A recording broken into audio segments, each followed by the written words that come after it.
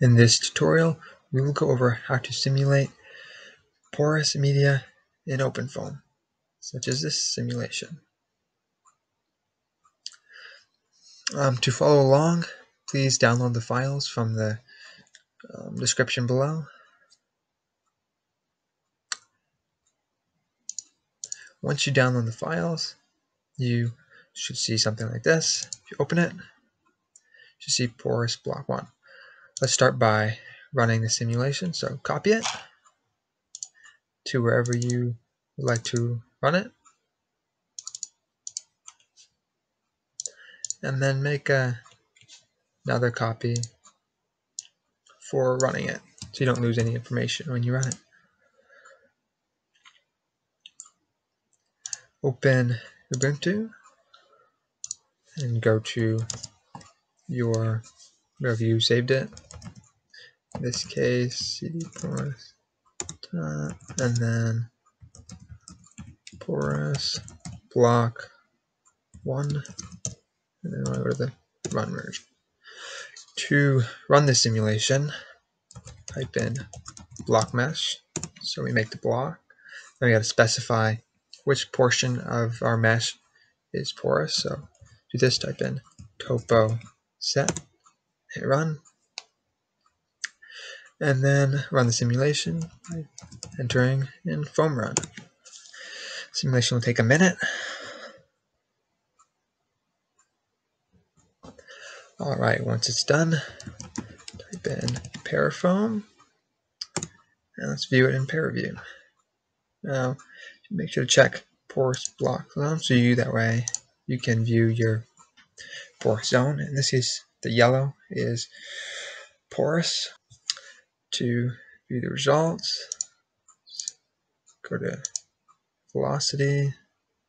You can see the porous zone is slowing down the fluid and even eventually get some vortex shedding off the back. So now that you know how to run a porous simulation, let's go look at the files that make this happen. So let's back and copy porous block 1, rename it porous block 2. Most of these files are the same as in any other simulation and don't affect the porous zone. The three files that affect the porous zone are FV models and coordinate systems under constant and topo set dict under systems. Let's start by going to constant and open up FV models and coordinate systems. Searching at FV models, this um, has the zone's properties, which are basically just two constants, D and F. To learn what these constants do, I'd recommend you go and look at under the helpful links folder in the folders you should download at the beginning and click on the Darcy Forchheimer model link recommend reading through all of this, but basically those two coefficients come from the source term, um, source term Sm. They are these this capital D and this capital F right here.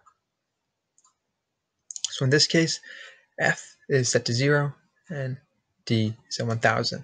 The higher D is, the more the pore zone prohibits fluid flow, while a value of zero would allow the fluid to freely flow through zone.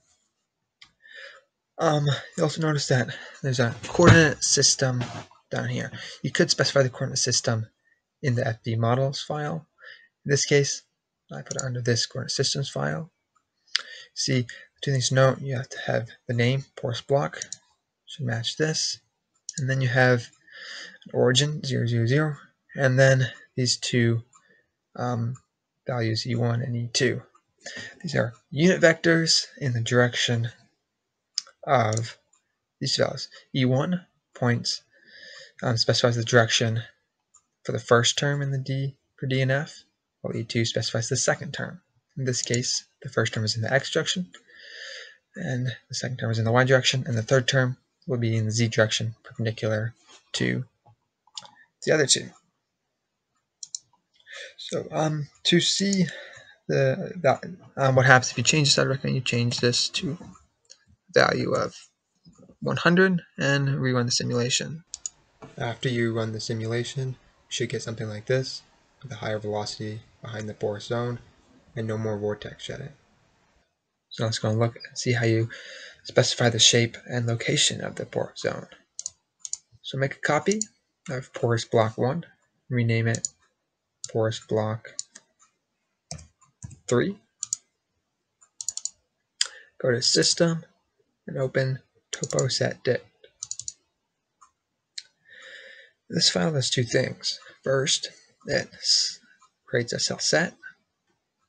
It name, you need a, na a name, porous block cell set in this case. Type, we want to make a cell set, so cell set. Actually, new, it's a new cell set, and we're using box to cell to select the cells. This basically makes a box. This case, from 0 to 2 in the x direction, minus 0.5 to 0.5 in the y direction, negative 1 to 1 in the z direction. And all the cells with their center in that box are added to the cell set. Now the cell set is converted to a cell zone called porous block down here.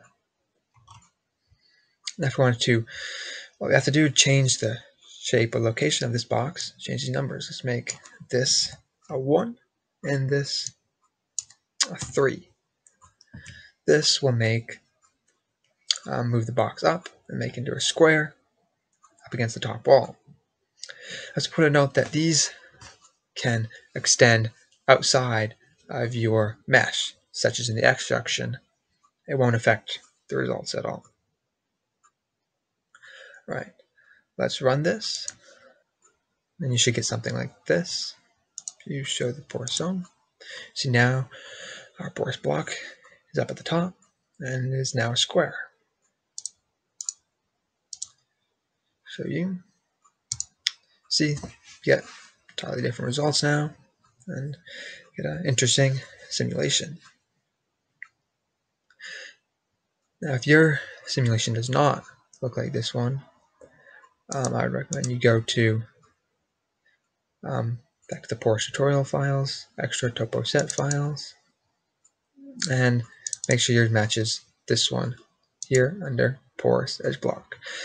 I also recommend if you have time to look under porous cylinder.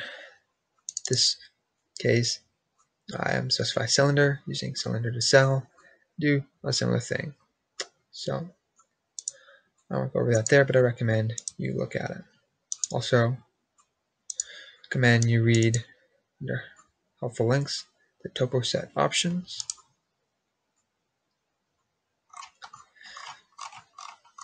You down here, you can see many different ways to select cells, such as boxer cell like we did first, cylinder cell like I did in the cylinder example that I recommend you look at, and surface to cell if you want to use an STL to go over your, if you want to use STL to define your porous zone, as we'll go over now. So and look at how to use an STL to specify the porous zone. Go let's make a fourth copy, porous block 4, and go to topo set day.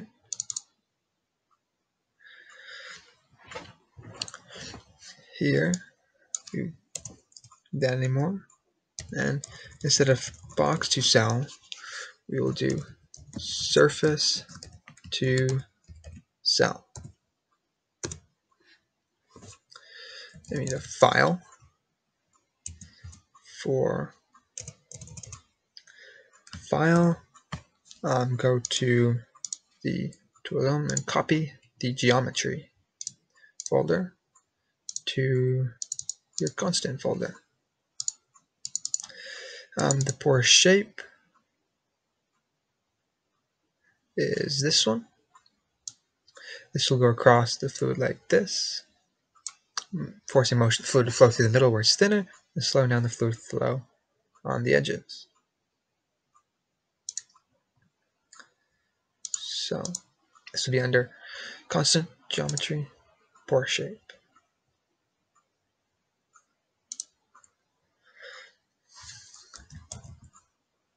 Constant geometry porous shape dot stl. Now note the lowercase stl. OpenFOAM only allows lowercase stl and it's case sensitive. So go to your geometry properties, properties, details, and make sure it's porous shape dot stl dot lowercase stl so OpenFOAM can find it. And then we want, if you go here, you can see we'll need to specify the outside points. So yes, outside points. Now these outside points specify the outside of the outside of the porous zone. So as you can see, the mesh will be cut into two portions by this porous zone, a left side and a right side. So we'll need a point on each side. For our left point, let's use negative 2, 0, 0. For a right point, 6, 0, 0.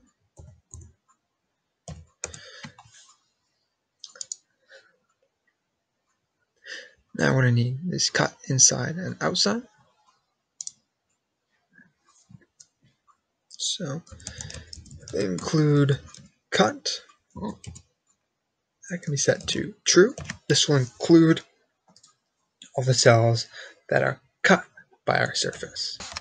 And then include inside.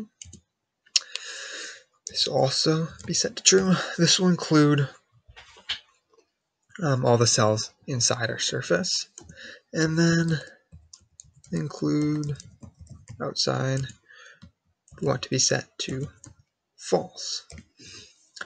We uh, don't want to include all the cells outside our surface in the um, cell set.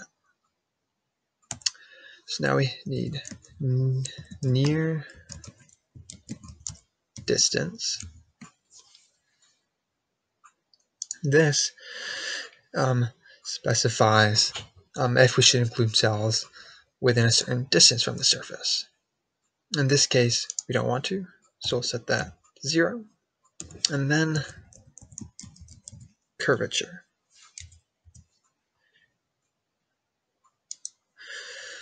This is a scalar that include cells close to strong curvature on the surface. Curvature defined as difference in surface normal and nearest point on surface for each vertex of cell.